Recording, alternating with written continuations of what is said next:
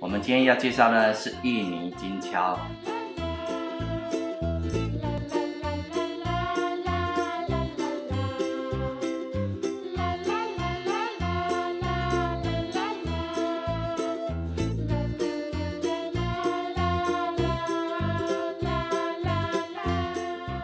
大家好，我是洪森年甲虫老师。我们今天要介绍的是印尼金锹，它们呢其实抓力不强，所以等一下可能会一直掉下来。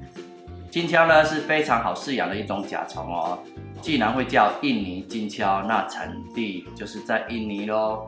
等一下我们来介绍如何饲养它。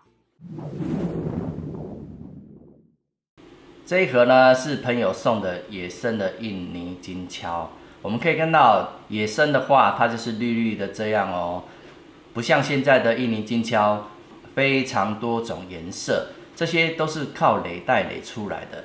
不同颜色的公虫与母虫配出来，会产生新的颜色出来哦。所以呢，印尼金锹是非常多人喜爱的一种虫，因为它的颜色变化实在太大了。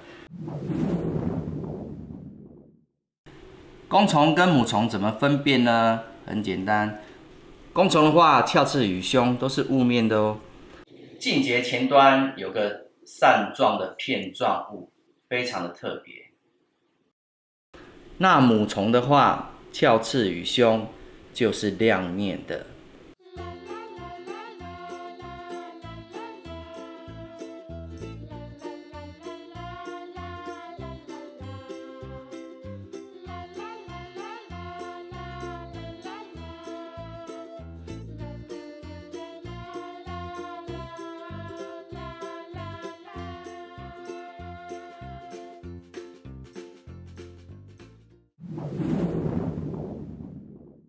我们可以看到，哎，为什么有些大二好长，有些大二短短的？这个就是幼虫的时候有没有照顾好了？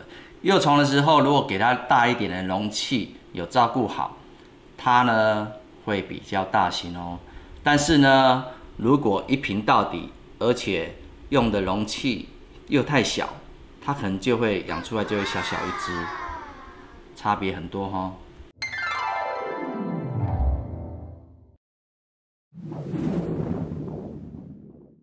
印尼金锹非常的爱飞，你看它突然飞起来了。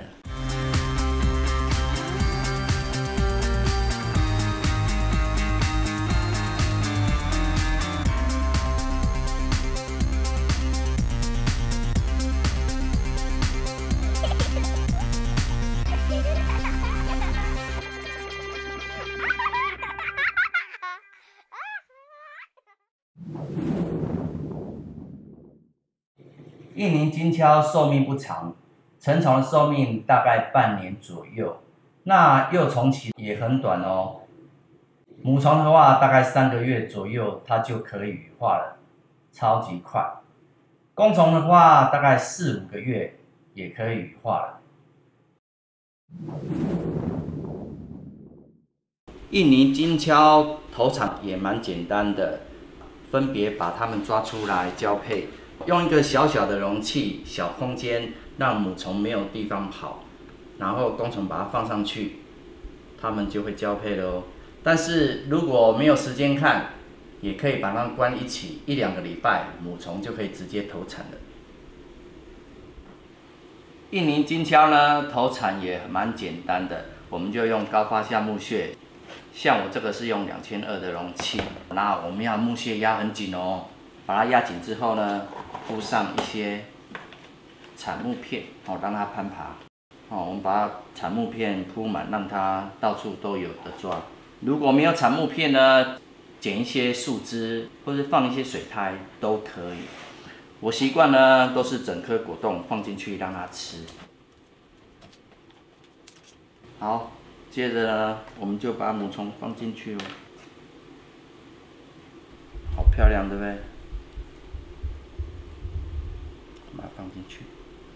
印尼金鞘的话，卵期很短，两三个礼拜它就可以孵化了。所以呢，我们会抓一个月左右或是一个半月再来开这个产房就可以了。最后开上盖子，写上标签，记录今天的时间，这样才不会忘记。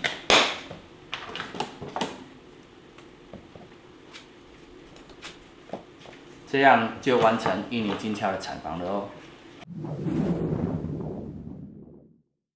这边有一只印尼金锹的幼虫，我们可以看到它蛮小只的。这只呢看起来是三菱的母虫。那一般呢，我们母虫的话可以用两百五十 CC 的，或是四百八十 CC 的，就可以直接养到羽化了。好，现在我们帮它装到容器里。敲的话，木屑记得要压紧哦。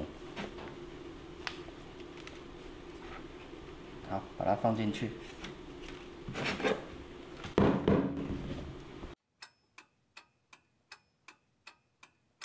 盖上盖子，写上日期，这样就好。如果母虫的话，这一杯可以直接放到它羽化，因为母虫幼虫期大概三个月左右而已，所以我们直接把它养到羽化是没问题的。我们可以看到这一盒印尼金锹非常的特别，因为当时开产房的时候。幼虫都放在同一盒里面，结果把它们遗遗忘了，都没有换木屑，所以从头到尾都没有换过。结果它们都在底下，我们看到都化蛹了。一杯里面，它们就可以在里面全部一起化蛹了。我们可以看到这样一个洞一个洞，有没有？都已经在化蛹了。好，这只看就知道是母虫了。哦，这边有一个洞。同时这边有看到两只，要记得哦，只要是混养的会土从来没有换过都烂掉这一种，通常出来体型就会很小。像这只呢，饲养容器就比较大，我是养在一千 CC 的容器里面。不过呢，看起来是母虫哦，结果它还蛮大只的，所以饲养容器越大的话。虫会养的越大只。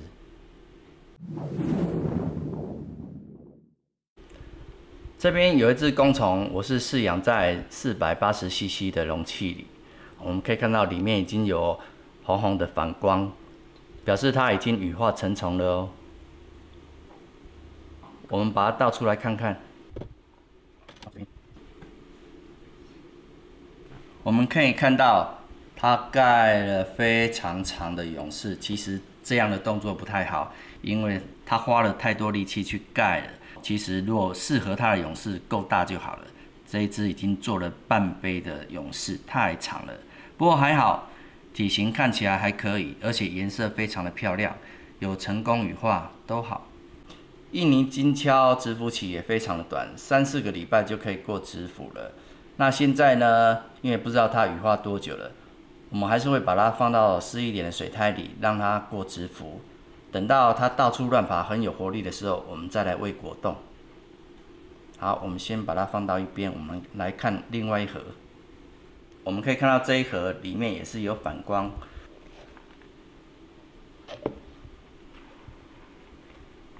像这只勇士就没有做到那么大，对不对？省了一点力气。这两只呢，因为都还在蛰伏，所以呢，我们把它放到很湿的水滩里面。好像这个容器呢是四百八的容器，要非常湿哦，但是不可以积水。当然也可以直接用倒的方式哦，直接倒水下去，然后再把水胎的水分抓均匀就好了。你看我是喷的非常湿，对不对？好，然后再稍微捏。好，这有的地方还是有点干，所以我们会再喷一下。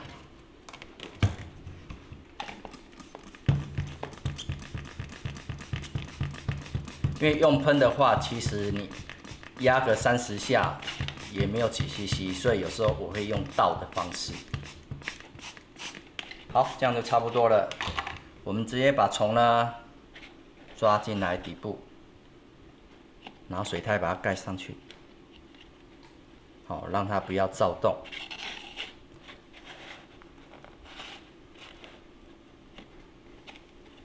盖上去，让它不要躁动。饲养温度呢？成虫我会抓二十二到二十七度中间，其余它们是非常好饲养的。那因为我这边是有温控，所以可以用这种布丁杯来饲养。但是呢，如果各位朋友家里是没有温控的呢，就要用更透气的饲养容器来养，因为只要透气度够好，它们寿命就会相对的比较长。来，我们把它抓出来上手。印尼金枪的抓力很小，而且它的钩爪非常的小，非常的细，所以不用怕上手之后会痛。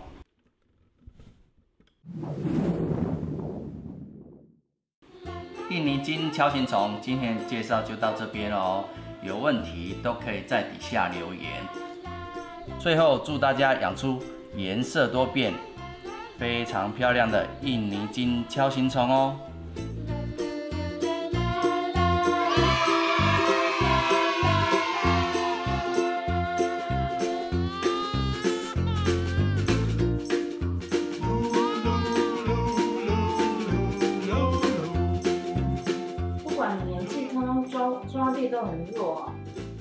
不是啊，他们紧张，然后就那个缩脚，对，有没有？我们今天呢要来介绍，